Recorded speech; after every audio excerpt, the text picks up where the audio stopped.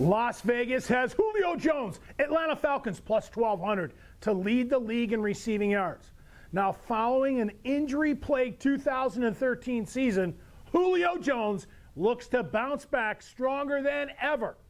The former Alabama standout has been aching to get back into the game and return to his 1,000 yards, nine touchdown average he was consistent, very consistently putting up prior to getting hurt.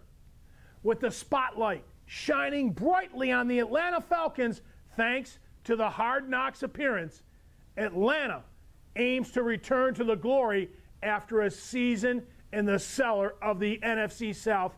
Look for Julio Jones to be a big part of that. Now, if you want a big part of the early season action, you want to build your bankroll early with Jeff Allen Sports, call 1 800 664 8920.